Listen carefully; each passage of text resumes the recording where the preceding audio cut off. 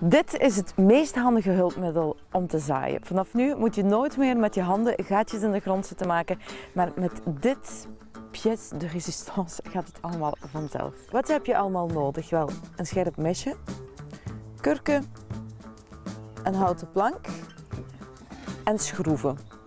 Mocht je niet willen werken met schroeven, dan kan je altijd houtlijm gebruiken, maar met schroeven zitten ze eens zo goed vast. Is heel belangrijk dat je de kurken in twee snijdt. Dan zal je denken, waarom moet je die in twee snijden? Wel, dan heb je automatisch de ideale diepte om te zaaien. Als de zaadjes veel dieper zitten, dan gaan ze niet uitkomen. En zitten ze te hoog, dan gaan ze ook niet groeien. Dus een halve kurk is de perfecte diepte om dus uh, te zaaien. Om je zaadjes in de grond te planten. Dan neem je de houten plank waar je dan met een boormachine je schroeven in gaat vastmaken. Of voor de iets mindere handige harries kan je ook houtlijm gebruiken.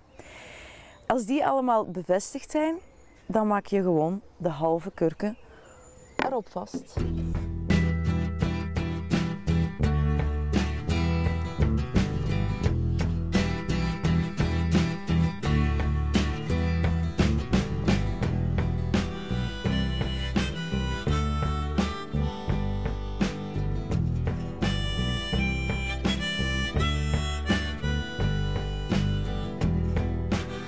En voilà, ja. Ik heb gekozen voor honingbloemen.